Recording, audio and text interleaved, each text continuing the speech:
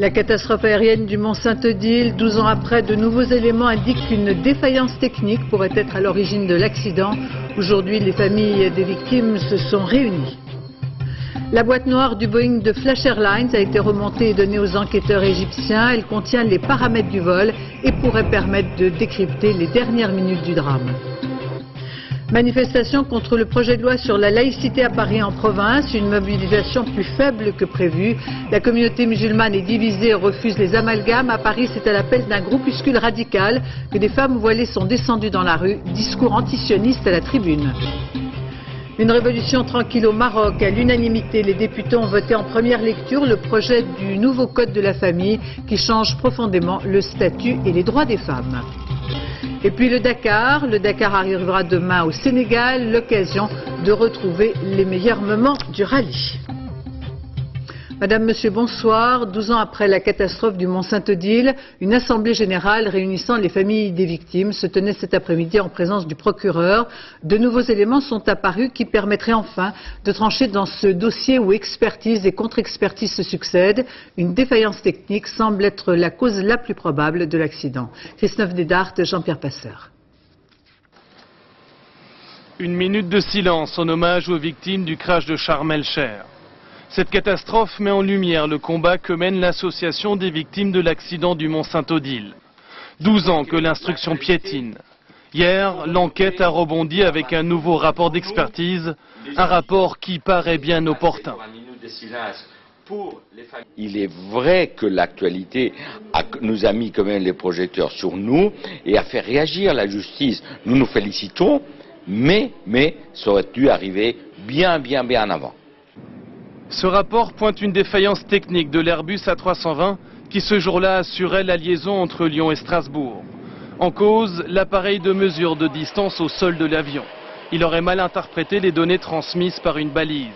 De quoi tromper l'équipage et provoquer le crash et la mort de 87 personnes le 20 janvier 1992.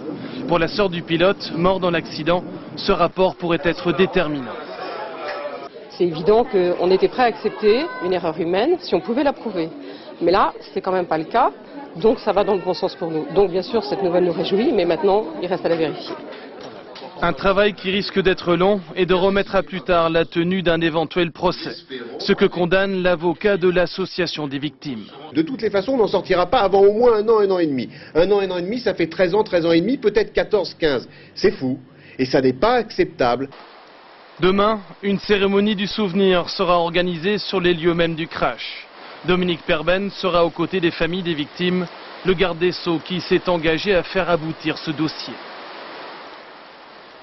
Deux semaines après la catastrophe de Sharm el-Sheikh, l'enquête sur les circonstances du drame progresse. En effet, l'une des deux boîtes noires du Boeing de Flash Airlines, localisée puis remontée hier par des équipes françaises, a été remise aux autorités égyptiennes. Cette boîte noire est celle qui contient les paramètres de vol indispensables pour décoder les dernières minutes qui ont précédé l'accident. Sur place, Yann Franti, Philippe Luthier. C'est l'aboutissement de 15 jours de recherche menée 24 heures sur 24 au large de Sharm el-Sheikh. Voici la boîte noire retrouvée cette nuit. Elle repose dans de l'eau salée pour éviter toute corrosion. Sa coque de protection de couleur orange a visiblement été endommagée par la violence du choc. Mais l'essentiel des données qu'elle contient, environ 150 paramètres de vol différents, semble bien avoir été préservé. À 1022 mètres de profondeur, l'opération pour la localiser a été très délicate. Jusqu'au bout, elle a été menée conjointement par les Égyptiens et les Français. La situation était quand même extrêmement difficile parce que euh, nous avons dû travailler dans des conditions extrêmes. Et euh, effectivement, je, je, suis soulagé parce que c'était notre mission. Cette mission, elle était dirigée essentiellement vers les familles et nous l'avons réussi.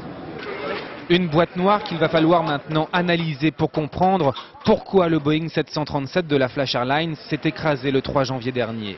Ce responsable égyptien chargé de l'enquête nous explique que cette boîte noire va maintenant partir au Caire. Elle sera décryptée par des équipes franco-égyptiennes accompagnées d'experts américains. C'est donc la fin d'une première étape, mais en mer, les opérations continuent. Il reste maintenant à retrouver la deuxième boîte noire, celle des conversations enregistrées. C'est le Janus, le dernier navire français arrivé sur zone avec à son bord un nouveau robot, le Super Achille, qui devrait mener les recherches. Quant à l'enquête, elle pourrait s'accélérer avec l'arrivée demain au Caire du procureur et du juge d'instruction chargé de ce dossier. On l'a dit, la boîte noire sera donc euh, décryptée au Caire, en effet. Cette boîte noire contient une somme d'informations. Elle est en quelque sorte la mémoire technique du vol. Romuald Benant, Muriel Lassaga. Même immergée pendant un mois à 6000 mètres de profondeur, ou bien encore soumise à un incendie de plus de 1000 degrés pendant une heure, la boîte noire, en fait orange, contenant les paramètres de vol, peut encore parler.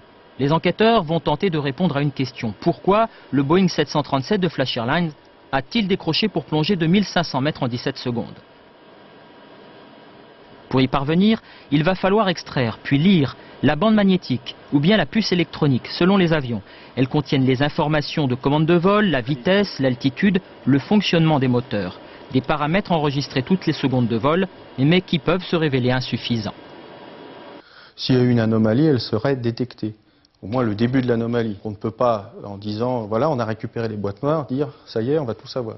Les boîtes noires sont une aide, mais ça ne donnera pas la totalité. Ça peut ne pas donner la totalité du vol. Dans quelques jours, les enquêteurs seront peut-être en possession de l'autre boîte noire, celle qui enregistre les conversations dans le cockpit. À côté du DFDR, l'enregistreur des paramètres de vol, c'est elle qui dira ce qu'ont rencontré les pilotes. La complémentarité entre ces deux boîtes permet une meilleure chronologie des faits. Vous lisez sur votre DFDR un moteur qui s'arrête. Est-ce qu'il a été arrêté par le pilote ou est-ce que c'est le moteur qui s'est arrêté de lui-même? Des réponses qui devraient commencer à se faire jour dès le tout début de la semaine prochaine. Après le naufrage d'un chalutier qui a coulé jeudi avec cinq hommes à bord, un chasseur de mines de la Marine nationale a appareillé ce soir de Brest. Grâce aux deux robots embarqués, l'Andromède pourrait fournir des images de l'épave du chalutier pour déterminer les causes de la catastrophe. Une enquête du, un enquêteur du bureau enquête accident, le patron et le propriétaire du chalutier participent aux recherches. Venons-en aux manifestations contre le projet de loi sur la laïcité qui se sont déroulées cet après-midi à Paris et dans quelques villes de, France. Manifestations qui, dans l'ensemble, n'ont pas suscité la mobilisation attendue. Il est vrai que la communauté musulmane est divisée et craignait d'être identifiée au groupuscule extrémiste, le Parti des musulmans de France, qui avait appelé à descendre dans la rue. À Paris, solidement encadré par les hommes, des milliers de femmes voilées, portant parfois les couleurs de la République, à la tribune, le discours radical antisioniste du leader du PMF qui cherchait à capitaliser le mouvement de protestation. Et le Norguais, Nabila Tapouri. Voilé et drapé de bleu, blanc, rouge. Accompagné par des hommes au moins aussi nombreux qu'elle. Dans les rues de Paris, ils sont 10 000 selon la police, 20 000 selon les organisateurs. C'est notre droit, c'est notre droit de porter. Si on l'a choisi, c'est notre droit. Nous ne sommes ni soumis ni aliénés. Pas aliénés, mais pas toujours facile d'accès. Expliquez-nous pourquoi on ne peut pas porter À deux reprises, on nous empêche d'approcher les jeunes femmes. En tête de cortège, Mohamed Latrèche, le leader controversé du Parti des musulmans de France. Au cœur de ses discours cet après-midi, l'antisionisme et un long message adressé à Jacques Chirac. Président de la République, que celui qui touche à un juif touche à toute la France. Sachez que celui qui touche à une Un discours aux accents populistes que certains entendent pour la première fois. Moi j'ai su euh, que cette euh, manifestation était organisée par ce parti que je connaissais pas du tout simplement hier soir. Et euh, nous, on vient pour la cause. On s'en fiche, c'est qui qui organise ça. Dalil Boubaker, président du Conseil français du culte musulman, avait appelé à ne pas manifester. Un représentant de cette instance est pourtant présent. Je suis là pour euh, être auprès de la communauté, pour savoir qu'est-ce qui se passe. Et c'est comme ça que je pourrais mieux la représenter. Au même moment, à Saint-Denis, en banlieue parisienne, un collectif d'associations organisait une journée de réflexion sur l'islam et la laïcité. On ne se reconnaît pas dans cette manifestation parce que c'est principalement euh, les musulmans et les musulmanes qui vont sortir. Nous, ce qu'on aimerait, c'est que les, toute la société, les, les Français, quels qu'ils soient, de quelque bord qu'ils soient, soient dehors. Plusieurs associations appellent d'ores et déjà à une nouvelle journée d'action le 7 février prochain. À Lille, maintenant, entre 4 000 et 10 000 personnes, selon la police où les organisateurs ont défilé. Un cortège regroupant plusieurs associations de femmes dans le Nord, là aussi de très nombreuses jeunes femmes voilées, qui ont défilé au nom de la liberté de choix sous ce slogan « L'islamophobie n'est pas une opinion, c'est un délit ». Là aussi, la manifestation s'est achevée dans le calme. Ces manifestations, on l'a vu, divisent la communauté musulmane. Le moufti de Marseille dénonce la montée du fondamentalisme en France et met en garde contre l'influence des pseudo-religieux à Marseille.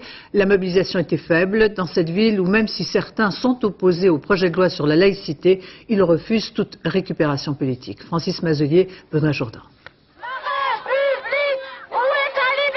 Des marianes improvisées avec la cocarde sur le voile islamique, un symbole fort, un brin provocateur en tout début de cortège sur le vieux port de Marseille. Pour dire qu'on fait partie de la République quand même avant tout et que si on veut porter le voile, on le porte. Donc voilà. Vous le portez euh, parce que vous le voulez? Oui, oui, si on le porte, c'est un choix qu'on a fait, c'est pas une obligation. Ils étaient près de 2000 à manifester contre le projet de loi sur le voile à l'école. Un défilé dans le calme, sous le regard discret d'un important service d'ordre et d'une centaine de policiers. L'étiquette d'un islam radical est réfutée par les organisateurs. Ce sont des manifestations islamistes et est-ce que les modérés sont chez eux? Quels modérés islamistes C'est l'expression de la rue? Vous voyez que ce sont des concitoyens en général qui sont là. Y a-t-il quelqu'un qui porte quoi que ce soit? C'est clair, c'est ouvert à tout le monde. Appel pas toujours entendu dans les quartiers. Très attaché au principe de laïcité, ce couple de Français d'origine algérienne n'est pas descendu dans la rue. On est dans une, dans une république laïque qui a des, des lois et tout bon musulman est obligé de respecter ces lois-là, tout simplement. Pour le moufti de Marseille, ces manifestations révèlent une montée de l'islamisme en France. C'est la banalisation de cet islamisme politique militant euh, qui se permet d'aller manifester dans les grandes villes françaises. Chose impossible dans beaucoup de capitales musulmanes. Une voix bien isolée au sein d'un conseil français du culte musulman, plus que jamais divisé. Instance qu'il pourrait d'ailleurs quitter assez rapidement.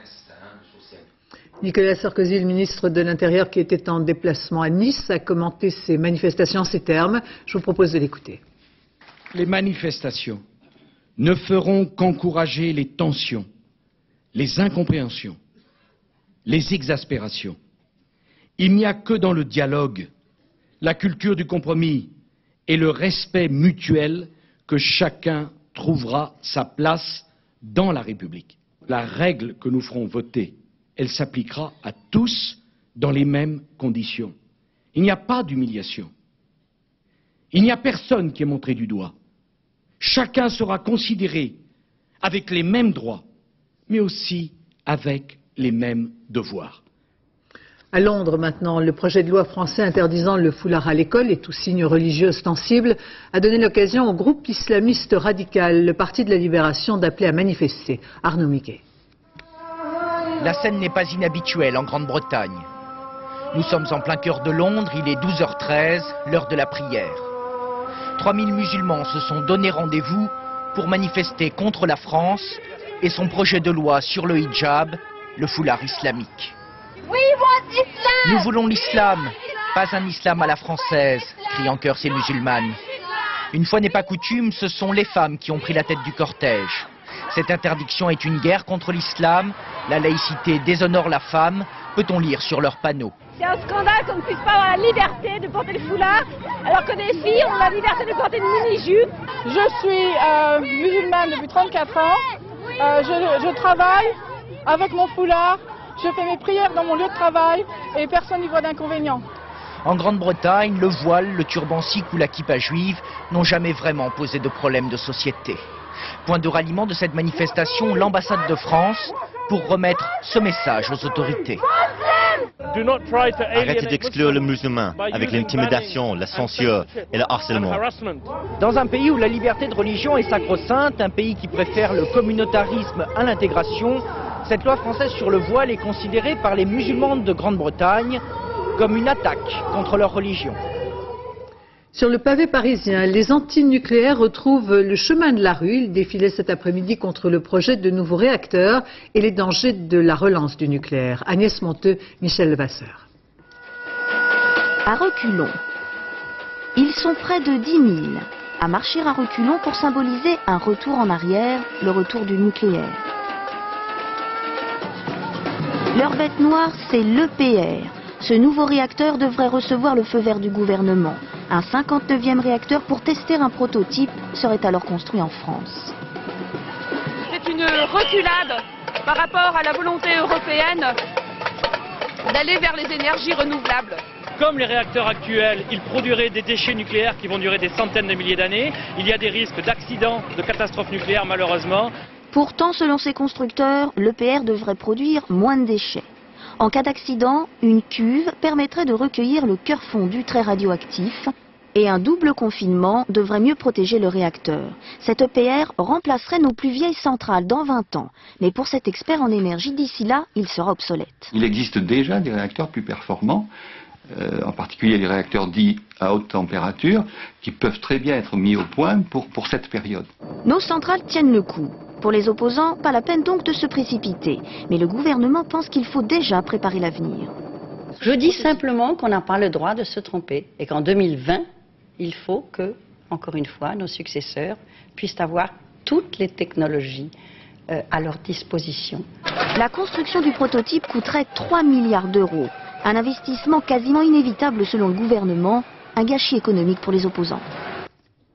La légionellose toujours présente dans l'actualité avec deux nouvelles personnes contaminées. Jean-François Mattei se rendra demain à Lens où les spécialistes s'interrogent sur l'origine de l'épidémie. La seule source de contamination identifiée reste l'usine Noroxo, mais y en a-t-il d'autres? Les enquêteurs font du porte-à-porte, comme le montre ce reportage de Sophie Rodier et Fabrice Dujardin.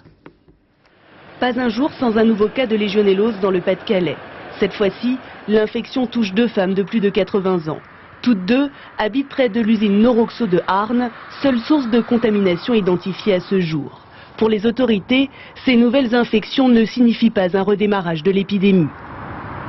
Pour nous, elle reste euh, donc à relier à notre épidémie euh, actuellement, puisqu'on sait que la durée d'incubation euh, au niveau de la légionellose, elle peut aller au-delà de 10 jours jusqu'à 15 voire 20 jours.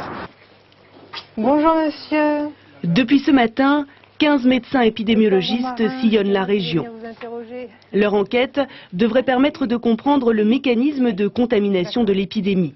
Plusieurs centaines de personnes vont être interrogées sur leurs habitudes de vie. Moi, je vous dis, s'il n'y a pas de grand vent comme on a eu cette semaine, moi, j'ouvre. Hein. Mais quand, vous dites vous les ouvrez, elles sont ouvertes tout le temps ou vous les ouvrez 10 ah, minutes? Non, non, la matinée. L'idée, c'est d'interroger ces malades, bien savoir ce qu'ils ont fait pendant dix jours, interroger à côté un témoin sur la même période, bien savoir ce qu'il a fait aussi pendant ces dix jours et de comparer les résultats. Une fois collectées, ces données devraient permettre aux médecins de mieux orienter leurs recherches sur cette épidémie de légionellose sans précédent en France. Et puis cette recommandation à destination des voyageurs qui vont partir pour le Vietnam, compte tenu de l'épisodite de la grippe du poulet, il faut éviter tout contact avec euh, les volailles, les porcs vivants, y compris sur les marchés. Une association qui dénonce la surpopulation carcérale a décidé d'assigner l'État pour faute grave, c'est une première, en question de la maison d'arrêt de Caen dont les cellules sont surchargées. Stéphanie Davogno. Dans cette maison d'arrêt de Caen, 504 détenus pour seulement 310 places.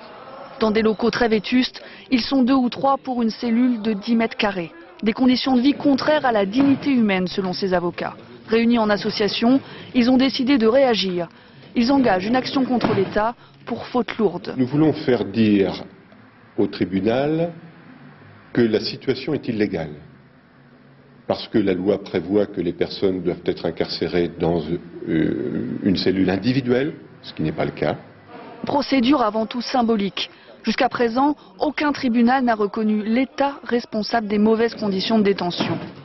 Mais ce que dénonce aussi l'association, c'est le recours trop systématique à l'emprisonnement. Si la prison est évidemment un mal nécessaire, ça n'est pas une fin. La prison a une autre mission, la réinsertion des détenus. Une réinsertion difficile quand les prisons sont surpeuplées. La situation s'est aggravée depuis quelques années pour atteindre l'été dernier le chiffre record de 60 963 détenus pour environ 48 000 places. Le gouvernement s'est engagé à développer davantage des peines alternatives à la prison. Il prévoit aussi une trentaine de nouveaux établissements d'ici 2007. Dans l'affaire Flactif, euh, c'est hier soir que la compagne de David Otia a été libérée après quatre mois de prison préventive. Une décision qui a provoqué l'incompréhension et la douleur des familles des victimes, mais le juge d'instruction devrait bientôt la mettre euh, à nouveau en examen, cette fois-ci pour recel. Elle risque donc de retourner en prison. Par ailleurs, Isabelle Aremza, l'épouse du complice présumé de David Otia, est sortie elle ce matin. Elle est enceinte de sept mois. Un jeune Français qui revenait de Saint-Domingue à bord d'un appareil américain a été arrêté dès son arrivée à l'aéroport de New York pour avoir tenu des propos évoquant une bombe. Il a été inculpé pour fausse alerte et placé en détention. Depuis le 11 septembre, ce n'est pas le premier incident de ce genre. Gilles Rabine, Francis Mazelier. C'est l'histoire invraisemblable d'un jeune étudiant français de 27 ans qui avait voulu offrir à sa fiancée quelques jours de vacances de rêve dans l'île de Saint-Domingue. Au retour, le rêve a tourné au cauchemar parce qu'il était indisposé, il s'attarde dans les toilettes de l'avion d'American Airlines qui le ramène à Paris via New York. L'hôtesse de l'air américaine s'en inquiète et le fait sortir. Je n'étais pas en train de fabriquer une bombe dans les toilettes, lance en plaisantant Franck Moulet, l'étudiant français. L'hôtesse le prend mal. À l'arrivée à l'aéroport Kennedy de New York, l'étudiant est arrêté, inculpé pour fausse alerte et emprisonné c'est débile, c'est débile, c'est une vraie psychose. Les Américains sont parano, je, veux bien qu'ils soient inquiets, je comprends ce qui arrive, mais il ne faudrait pas agresser tous les gens qui essayent de. Il a fait une mauvaise blague, une, bêtise, tout le monde peut la dire. Bon, euh, il s'est justifié par la suite, il a dit qu'il plaisantait. Je pense qu'il aurait pu avoir une enquête, mais pas faire euh, tout ça. La fiancée d'étudiants français a été interrogée elle aussi par la police américaine, puis relâchée et renvoyée en France. Pour ce délit de fausse alerte, Franck Moulet risque aux États-Unis 4 ans de prison. 4 ans, mais 4 ans, c'est énorme dans la vie d'un gamin. C'est aberrant des trucs pareils. là, je ne comprends pas, je ne sais pas du tout. Je, je vous dis, euh, c'est de la folie. C'est une histoire de fou. Une histoire de fou, hélas, bien réelle. Non.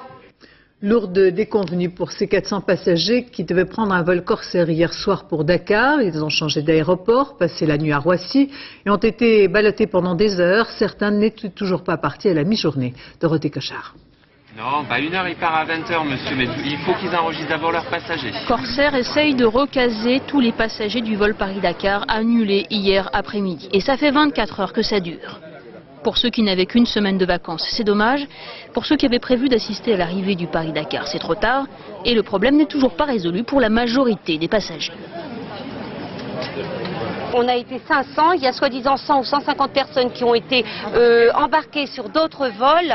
Il reste donc euh, au gros 300, 300 personnes pour un avion qui, qui fait 250 euh, places. Donc de toute façon, tout le monde ne partira pas. Problème initial, un des quatre réacteurs de l'avion tombe en panne hier et il n'a pas été réparé à temps. Problème technique, c'est tout le monde peut le comprendre. Jusqu'à 1h du matin, tout le monde peut le comprendre. Si on nous l'explique, il n'y a aucun, aucun souci de ce côté-là. Ce qu'on n'admet pas, c'est la gestion de cette crise, ou l'incompétence de la société qui n'est pas capable de nous dire qu'est-ce qu'on va devenir, où on va y aller. Un dialogue de sourds avec Corsair qui répond que le maximum a été fait pour informer les passagers. On a donné des informations comme on a pu. Il se trouve quand même qu'un avion, euh, ça ne se remplace pas comme ça. Il a fallu reprotéger les passagers sur plusieurs compagnies. Et les informations sont arrivées au fur et à mesure. Donc on leur a donné les informations au fur et à mesure. En ce moment même, les passagers sont en salle d'embarquement et Corsair affirme que les derniers décolleront dans une heure. Cérémonie à Paris, dans la cour d'honneur des Invalides. Les deux élèves de Saint-Cyr, morts de froid lors d'un stage en début de semaine, ont été faits chevaliers de la Légion d'honneur à titre posthume. C'est Michel Alliot-Marie qui a prononcé l'éloge funèbre euh, et devant l'ensemble des élèves de l'école militaire de Saint-Cyr, basée dans le Morbihan. Le parquet de Marseille a ouvert une enquête judiciaire. Les deux sous-lieutenants, l'un originaire du Niger, l'autre du Togo, n'ont pas survécu lors d'un exercice d'aguerrissement. Sept autres, trois Africains et quatre Français ont été blessés. Les sondages politiques de fin de semaine avec euh, une embellie pour Jacques Chirac et Jean-Pierre Raffarin, tous deux à la hausse, plus 3 points. Selon l'IFOP, le journal du dimanche, Jacques Chirac recueille 53% de satisfaits contre 50 en décembre. Jean-Pierre Raffarin passe de 38 à 41% d'opinion favorable. Matignon, qui dans un communiqué fait savoir qu'il n'y a pas de remaniement à l'ordre du jour, répondant à diverses analyses ou supputations de la presse. La préoccupation du chef de gouvernement, je cite, n'est pas de virer tel ou tel, mais de mobiliser toute l'équipe ministérielle pour la période de 2004. Une révolution tranquille au Maroc. À l'unanimité, les députés ont voté en première lecture le projet du nouveau code de la famille qui change profondément le statut et les droits des femmes. Ce projet, qui tient particulièrement à cœur Mohamed VI, s'inscrit dans les règles de l'islam. Le roi étant commandeur des croyants, désormais, les femmes pourront divorcer, se marier sans l'aval d'un tuteur et ne plus être répudiées. Un changement radical de leur quotidien. Christian Autin, Yves Junca. Ils ont retrouvé le sourire et leur maman un peu de réconfort. Toutes ces femmes ont été battues, jetées à la rue. Leurs maris les ont répudiées. Dans ce centre d'hébergement près de Rabat, elles réapprennent à vivre. Touria n'oubliera jamais la brutalité de son expulsion. Ce soir-là, mon mari est rentré en me réclamant de l'argent. Comme je n'en avais pas, il m'a frappé à la tête. J'avais le visage tuméfié, il m'a jeté dehors, avec ma petite fille, sans aucune affaire, sans rien. Malgré un certificat médical prouvant ses blessures, Touria ne pouvait pas obtenir le divorce. Grâce à la nouvelle loi, tout va changer pour elle et toutes ces femmes victimes de violences. C'est ça le changement. Euh, le, mari n'a plus le droit d'expulser sa femme, n'a plus le droit de la répudier. C'est au juge de décider. Une libération de la femme voulue par Mohamed VI, commandeur des croyants. Fini la tutelle de l'homme sur la femme. Les Marocaines n'auront plus besoin de l'accord du père pour se marier. Et les biens seront partagés en cas de divorce. Une situation moins favorable pour les hommes qui se sont rués devant les tribunaux. Il y a des hommes qui se sont précipités pour divorcer, pour, euh, pour ne pas tomber euh, dans la, loi, la nouvelle loi, pour bénéficier de l'ancienne loi. Des tribunaux de famille vont être créés, condition nécessaire mais pas la seule, pour le succès de la réforme. La résistance va être importante au niveau de la magistrature et il faudra faire un énorme travail euh, sur justement les juges, les magistrats et tous les professionnels euh, au niveau de la justice. Le vote définitif du texte interviendra la semaine prochaine, avant l'entrée en vigueur de la loi au printemps. C'est d'ores et déjà un succès pour le roi Mohamed VI qui a réussi à faire l'unanimité autour de sa première grande réforme. En Irak, euh, nouvelle victime de la guérilla, trois soldats américains et deux Irakiens ont été tués dans un attentat au nord de la capitale. C'est une bombe qui a explosé alors qu'ils étaient en patrouille. Le sommet des altermondialistes à Bombay, en Inde, où le système de caste a été officiellement supprimé, 140 millions d'intouchables continuent d'être opprimés socialement, économiquement et politiquement. Le Forum social mondial offre l'occasion à leurs représentants d'en appeler à la justice sociale. Stéphane Despinois, Frédéric Faure. Nous sommes ici en plein cœur d'un quartier d'intouchables. 10 000 personnes se concentrent sur quelques ruelles. En Inde, on les appelle les Dalits. La tradition hindoue leur interdit tout contact avec les castes supérieures. La plupart du temps, intouchabilité rime avec pauvreté. Ce père de famille nous fait visiter son logement. Une seule pièce, quelques mètres carrés pour cette famille de Dalits qui compte une vingtaine de personnes. Regardez le plafond, nous dit-il. Des morceaux sont déjà tombés et il explique que le bâtiment risque de s'effondrer à tout moment. Ici, pas d'eau courante, il faut aller la chercher. La famille d'intouchables dort par terre, à même le sol. La grand-mère nous raconte comment voulez-vous faire avec juste 3000 roupies par mois, 60 euros pour 20 personnes? Je n'ai qu'un fils qui travaille et voyez comment on est obligé de vivre. La famille se nourrit de chapatis, les crêpes indiennes. L'Inde compte encore 138 millions d'intouchables. Encore aujourd'hui, ils sont relégués aux tâches les moins nobles, même si l'administration leur réserve un quota de place. Le gouvernement empêche les intouchables d'avoir accès aux ressources, à l'eau, à l'énergie et au développement économique. Les priver de cela, c'est tout simplement les empêcher d'avoir une place dans ce pays. Nous sommes dans l'un des quartiers les plus pauvres de Bombay. Ici, les intouchables forment l'extrême majorité de la population. Cela constitue le plus vaste bidonville d'Asie. Aux États-Unis, Michael Jackson, après sa comparution devant le tribunal de Santa Maria en Californie, où il répond de neuf chefs d'inculpation, dont celui d'abus sexuels sur mineurs, Michael Jackson a transformé son audition en grand show médiatique, s'attirant les foudres du juge, puis la star américaine a offert quelques heures après une immense fête dans son ranch ouvert à l'occasion à ses amis et à ses supporters. Venons-en à la protection de l'environnement. Dans notre société, nous sommes envahis, inondés par les sacs plastiques. 17 milliards chaque année en France sont distribués. Beaucoup sont jetés n'importe où. Qu'en faire et comment régler ce problème? Des chercheurs font vieillir en laboratoire des sacs plastiques pour les rendre plus dégradables. Un vieillissement accéléré. Reportage en Auvergne, Florence Mavic, Anthony Masto. Ceci est une machine à accélérer le temps. Une machine qui vous entraîne vitesse grand V au cœur des mécanismes du vieillissement. Dans ce laboratoire de photochimie près de Clermont-Ferrand, on teste, on analyse des formules pour dégrader plus rapidement les matières plastiques, en particulier les sacs de supermarché abandonnés trop souvent dans la nature. Grâce à l'ajout d'additifs, on accélère la chimie de leur dégradation sous l'effet de la lumière, de la chaleur et de l'oxygène. L'idéal, au fond, c'est que ce sac, donc dispersé dans la nature, va se fragmenter, va se transformer en petits fragments, en particules, dans l'espace de, disons, deux mois. Deux mois pour se fragmenter et un an pour disparaître totalement, voilà le défi lancé aux chercheurs. Actuellement, les sacs plastiques ont une durée de vie quasi éternelle. Souvent jetés n'importe où, ils sont une source de pollution majeure. Nombreux sont ceux qui souhaitent leur disparition. De quoi mettre sans dessus-dessous les professionnels du plastique. C'est un produit utile, c'est un produit dont le consommateur a besoin, qui est donné, et on, va trouver des solutions qui permettent de ne plus critiquer ce sac comme il l'est aujourd'hui. Alors, dans le milieu industriel, on met les bouchées doubles pour inventer un sac plastique totalement biodégradable en un temps express. Ce sac magique n'est pas encore apparu sur les chaînes de fabrication, mais il y a des progrès. Fini les produits toxiques difficiles à éliminer, on est passé à l'encre à l'eau et au sachet transparent. Et l'on joue la carte anti-gaspi. Engageons à réduire de 25% sur 3 ans le nombre de sacs distribués, ce qui est quand même très important.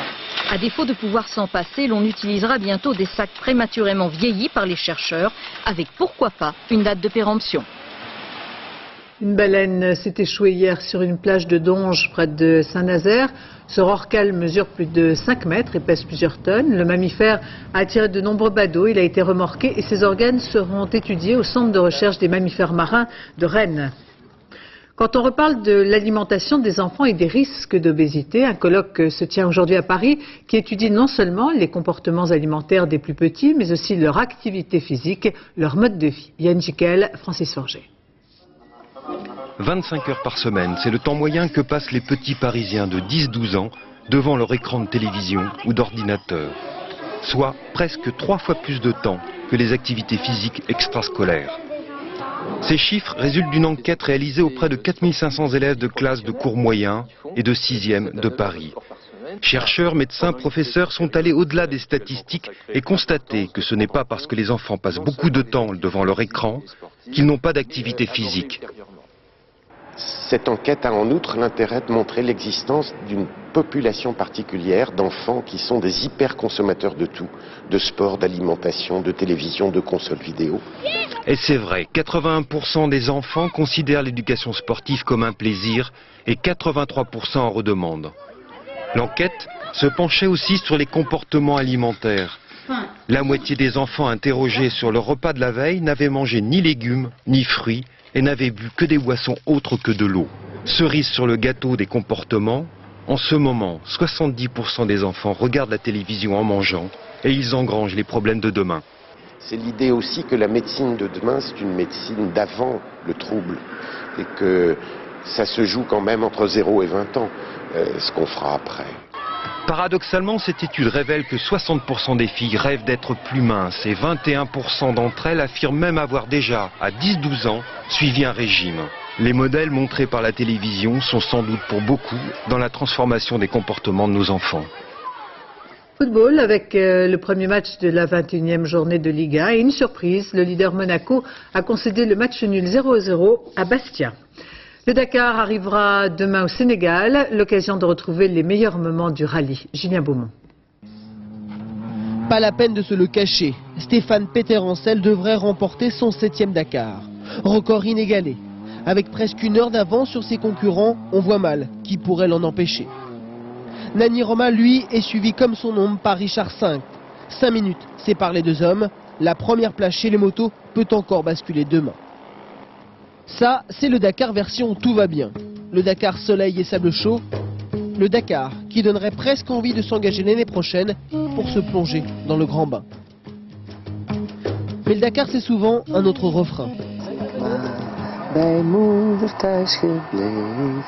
Ce qui veut dire, j'aurais mieux faire rester à la maison chez ma maman. Et si vous n'êtes pas chez maman, accrochez vos ceintures, on sait jamais.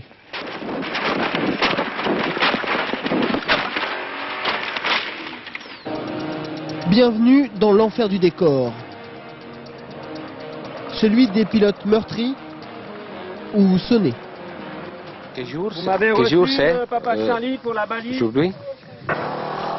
Ou tout simplement épuisé.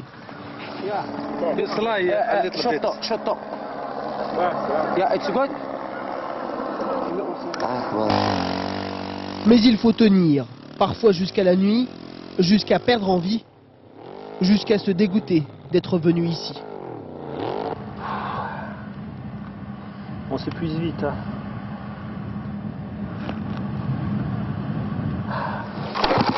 Demain, il n'y aura que 170 concurrents à l'arrivée sur les 400 du départ. Alors une pensée pour tous ceux qui ont été privés de désert.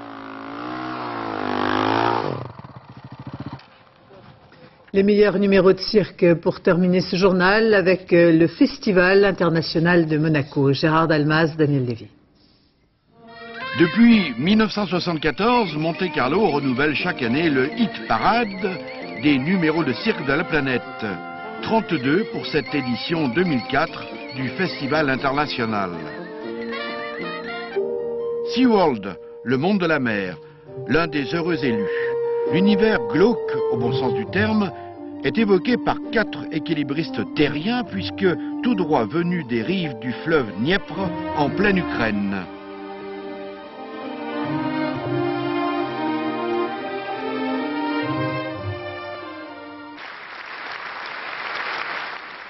Côté américain, on sait prendre de la hauteur avec les Valanda, troupe d'origine austro-hongroise, fin XVIIIe siècle. Le chapiteau entier, 4000 spectateurs, retient son souffle pour la pyramide à 7 personnes, à 15-20 mètres du sol, sans aucune sécurité, sachant qu'en 1962, ce culot ahurissant a fait basculer tout le monde dans le vide.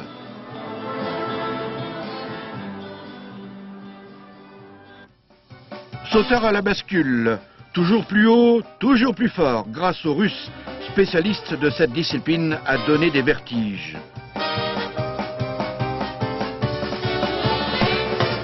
Les Kovgar, cirque Nikouline, Moscou, rendent un hommage mérité à l'un des grands artistes inspirés par l'univers du cercle de lumière, Chagall, l'homme qui rêvait avec ses pinceaux. Toujours les pays de l'Est, avec un retour en force de Budapest. Deux athlètes dorés au ralenti, époustouflants.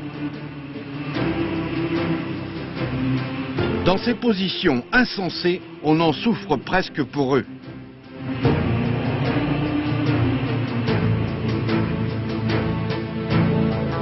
Des sculptures antiques dignes du Colisée, l'ancêtre des cirques. Ainsi se termine euh, ce journal. Dans un instant, la météo Nathalie Rioué. 20h55, Génération Succès, présenté par Ness. Demain, 7h30, dans Théo Café, Catherine Sellac recevra le navigateur Loïc Perron. Quant à moi, j'aurai le plaisir de vous retrouver dès 13h. Je vous remercie de votre attention. Excellente fin de soirée sur France 2.